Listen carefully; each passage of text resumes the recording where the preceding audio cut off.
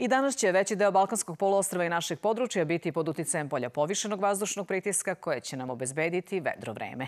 Nastavlja se priliv toplog mediteranskog vazduha. Temperatura iznad prosečnih vrednosti za 8 do 10 stepeni u većini mesta. Do 26. oktobra Miholjsko leto sa temperaturom od 23 do 29 stepeni. Prema prognozi Republičkog hidrometeorološkog zavoda, prvog dana vikenda u našoj zemlji sunčano i toplo vreme.